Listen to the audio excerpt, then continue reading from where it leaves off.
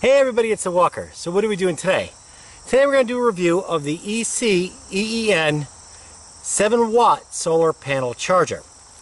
I did a review of their excellent 10 watt solar panel charger, but I wanted something even more lightweight than this already very, very lightweight option, and something that would very easily be able to um, attach to my uh, bug out bags, hiking bags, and I'm never coming home bags. So let's take a closer look at what you get. Here is the uh, solar panel charger. It's just a simple panel. One panel, 7 watts, high efficiency design. I had these panels on a, uh, another, another charger. They're pretty good.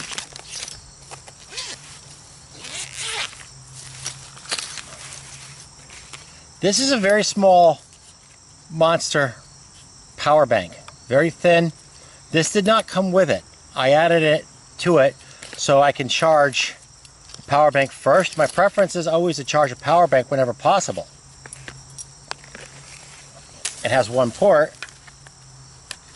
So I plug it right into one port.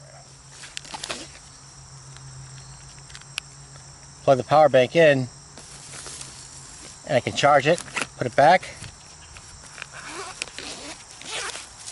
zip it up.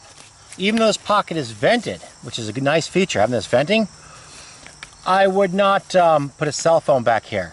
You know, the power bank, yes, you know, it gets hot. Power bank, I don't care as much about, but I wouldn't put a cell phone there.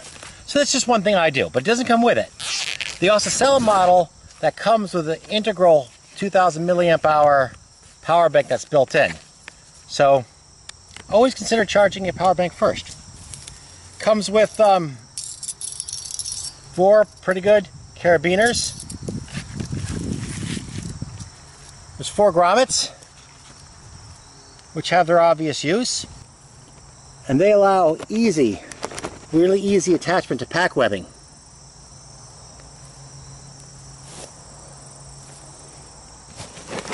Pretty darn snug. There's also um, uh, little suction cups, which I think go on the grommets, and then you can stick it in a window or something like that.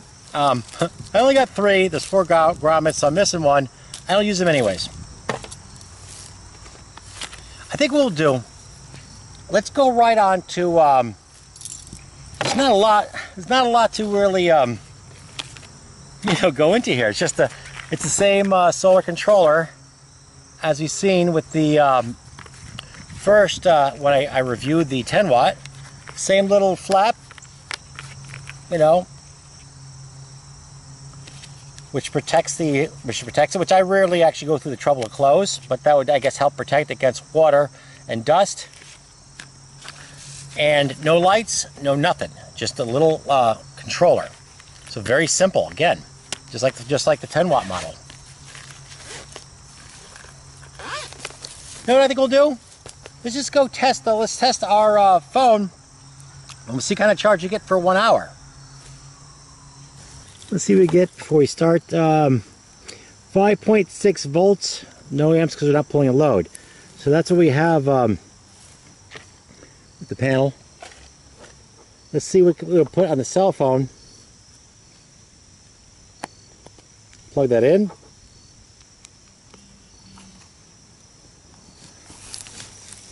Cell phones there and we are getting um, that's not bad. See if I can shield it from light so you can see. Uh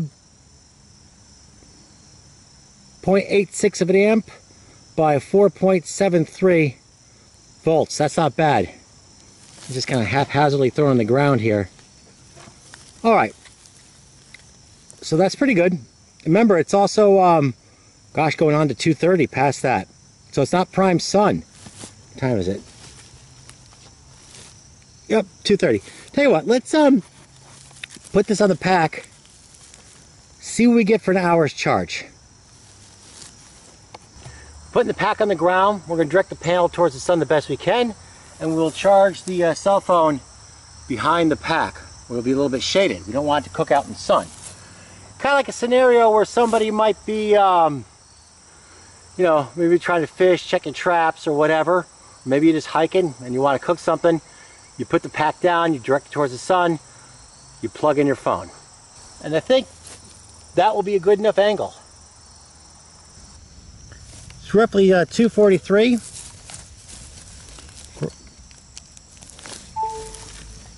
Start. We're, we're uh, timing it down. We're charging, looks like about 55% right now. Hooked up to the pack right there. Solar panels on the pack. We'll be back in one hour.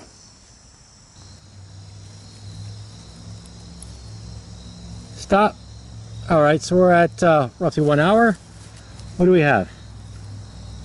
Hmm, looks like 80, um, 83%. That's not so bad. Um, considering it's just strapped to the back of a backpack. you know, 84% now. So, you know, let's give it another minute here. Maybe we'll get our, um, our 85%. We'll start it up again real quick. Already start it back up real fast.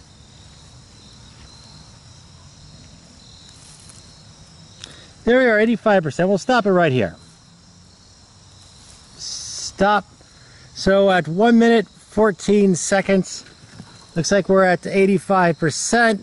I think it was 50 or 55%. I don't remember. I'll, I'll put it up, but that's 30% um, in, it's like one hour and 14 seconds. Whoa, we're at 86%. This thing's rolling right now. So that's pretty darn good. Um, and all we are, this pack made an excellent shade to keep, you want to keep your electronics out of, um, out of the sun. So running the wire down from the back of the pack made it excellent. Uh, oh, 87%. Look at that, it's doing great.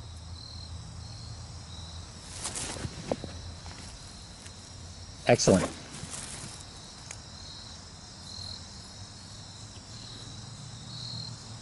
Eighty-eight percent.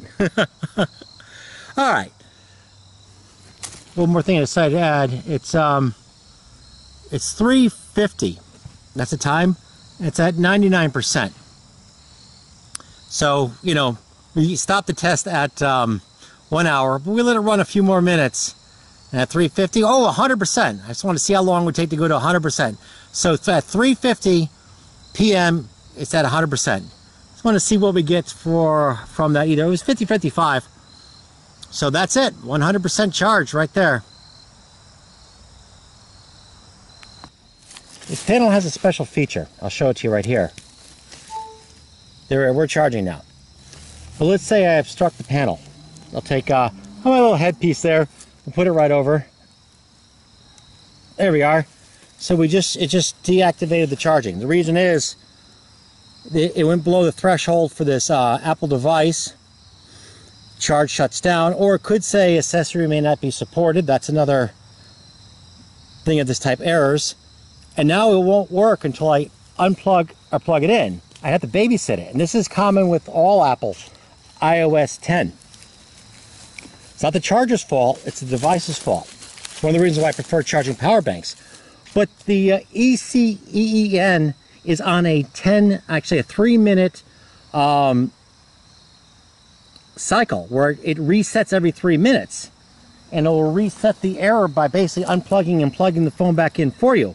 The 10 watt panel has the same feature as well. So we'll leave this here and see how long it takes. But when the reset comes, it'll start to charge again.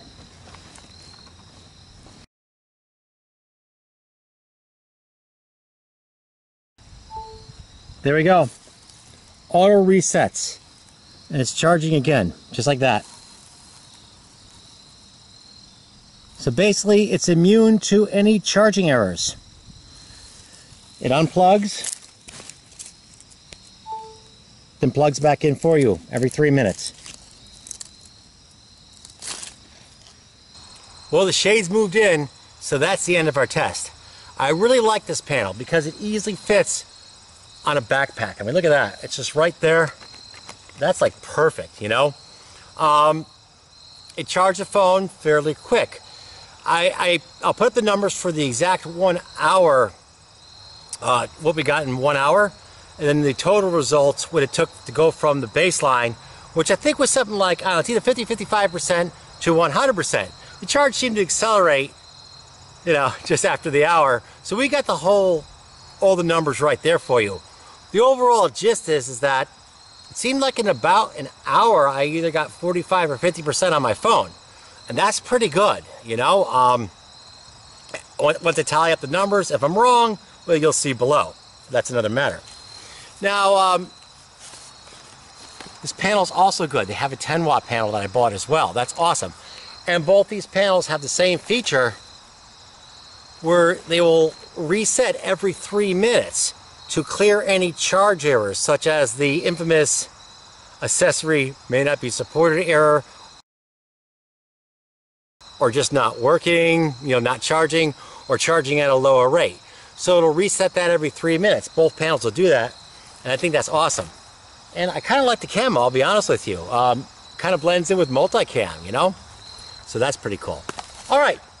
So if you like what you've seen, give me a thumbs up, hit the subscribe button, and y'all have a great day. And I highly recommend uh, both um, the ECEEN panels, the 7 watt and the 10 watt, which you reviewed. I'll put the uh, link to review in the description of this one as well. Awesome panels, and their ability to auto correct is amazing. And y'all have a great day.